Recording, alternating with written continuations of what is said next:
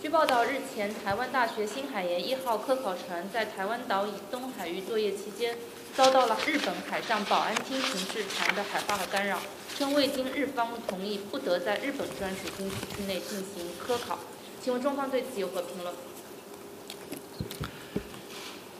你提到的有关事发海域，距台湾岛仅六十多海里，包括台湾地区在内的中国科研机构完全有权在该海域。开展科考活动，外国不应干涉。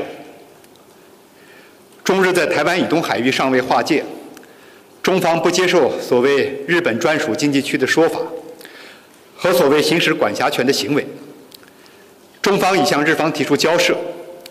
要求日方不得干扰包括台湾地区在内的中方船只在该海域的科考活动。